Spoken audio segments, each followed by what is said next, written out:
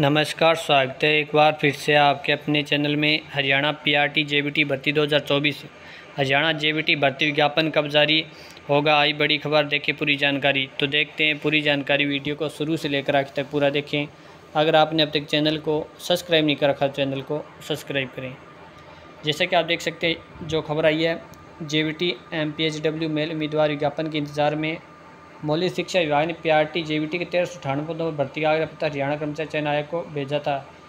पिछले बारह साल से जेबीटी की भर्ती नहीं हुई। जिन युवाओं ने स्टेट पास किया, उनकी वेता भी समाप्त होगी जेबीटी भर्ती में इंतज़ार, कुछ युवा अवरेज हो गए। ये उम्मीदवार जेबीटी भर्ती विज्ञापन का इंतज़ार करें, मगर आयोग ने अभी तक ये विज्ञापन जारी नहीं किया हज़ारों पात्र युवाओं ने दैनिक सवेरा के पास मैसेज भेजकर आग्रह किया कि जब तक विभाग ने आग्रह पत्र भेज दिया तो आयोग ने यह विज्ञापन बिना देरी के जारी करना चाहिए, ताकि जिन्हें नौकरी मिली उन्हें जल्द से जल्द नौकरी मिल जाए। यानी यहाँ पर कर, यहाँ पर जो अभ्यर्थी उन्होंने मांग उठाई कि जो तेरह सौ अठानवे पदों पर जे भर्ती हो रही है, बारह साल बाद, जल्द से जल्द उसका विज्ञापन जारी किया जाए।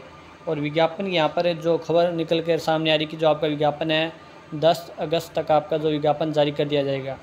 यानी आप तैयारी में लग जाएँ, क्योंकि जैसे विज्ञापन जारी होगा, उसके फॉर्म भरने शुरू होंगे तो उसके बाद आपका एग्ज़ाम जल्दी होगा। यानी अक्टूबर में हरियाणा विधानसभा चुनाव है, उससे पहले भर्ती सरकार पूरी करना चाहती है तो विज्ञापन इसका जल्द जारी होने वाला है। दस अगस्त तक इसका विज्ञापन जारी हो जाएगा और आप तैयारी में जुट जाएँ और जल्द अभ्यार्थियों इंतज़ार खत्म होने वाला है। तेरह सौ अठानवे तो मेरी भर्ती होगी।